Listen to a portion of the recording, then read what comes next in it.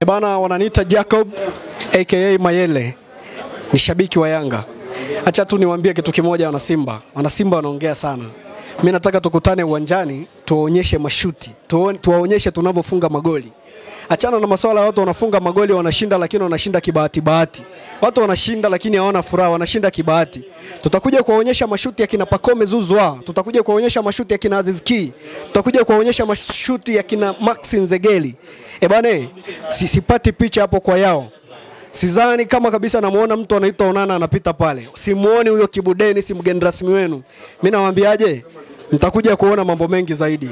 Hii ni Yanga, hii ni Yanga, na mwaka huu tutaonyesha mpira unavyochezwa. Unbeaten itaendelea tena. Mnasema mnajiita unbeaten, nyie mna unbeaten ya mechi ngapi? Mnapigwa kila siku kila siku, nyavu zina ukuta gani mnauzungumzia? Ukuta gani? Shemaloni kitu gani? Mimi nawaambiaje, tukutane hiyo tarehe tano, kazi ipo.